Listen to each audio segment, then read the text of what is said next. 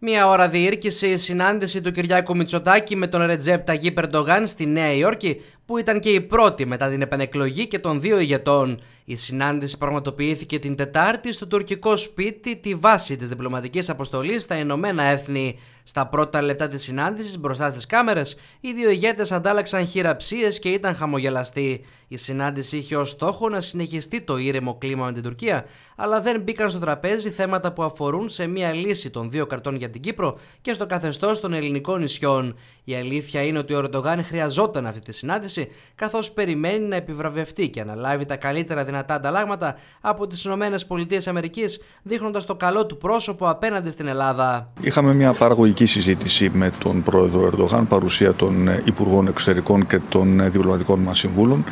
Ε, συμφωνήσαμε να συνεχίσουμε να εργαζόμαστε ώστε να εμβαθύνουμε το θετικό κλίμα στις ελληνοτουρκικές ε, σχέσεις το οποίο έχει εγκαθιδρυθεί τους τελευταίους μήνες και προσδιορίσαμε με σαφήνεια ε, το επίπεδο των επαφών και των συναντήσεων για το επόμενο διάστημα σε επίπεδο πολιτικού διαλόγου, μέτρων οικοδόμησης εμπιστοσύνης αλλά και προώθησης της θετικής ατζέντας. Συμφωνήσαμε επίσης το επόμενο Ανώτατο Συμβούλιο Συνεργασίας να διεξαχθεί στις 7 Δεκεμβρίου στην ε, Θεσσαλονίκη. Οι δύο ηγέτες συμφώνησαν ακόμη να συνεργαστούν για την αντιμετώπιση του μεταναστευτικού ζητήματος, αναγνωρίζοντας ότι αποτελεί κοινή πρόκληση. Ταυτόχρονα είχαμε την ευκαιρία να συζητήσουμε και για μια σειρά από κοινές προκλήσεις που αντιμετωπίζουν οι δύο χώρες μας.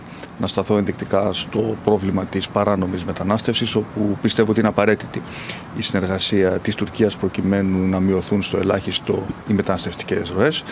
Αλλά φυσικά συζητήσαμε και τα ζητήματα της μεγάλης προκλήσης της κλιματικής κρίση κρίσης καθώς Ελλάδα και Τουρκία ε, είναι δύο μεσογειακές χώρες οι οποίες και αυτό το καλοκαίρι βρέθηκαν ε, αντιμέτωπες ε, με σημαντικές φυσικές καταστροφές προϊόν της υπερθέρμανσης του πλανήτη και της κλιματικής κρίσης η οποία είναι ήδη εδώ πέρα μαζί μας και πιστεύω ότι και αυτό το πεδίο συνεργασίας μπορεί να διερευνηθεί περισσότερο έτσι ώστε να τύχει αντικείμενο και κάποιων συγκεκριμένων συμφωνιών οι οποίες θα υπογραφούν ε, στα πλαίσια του Ανώτατου Συμβουλίου Συνεργασίας το Δεκέμβριο στη Θεσσαλονίκη.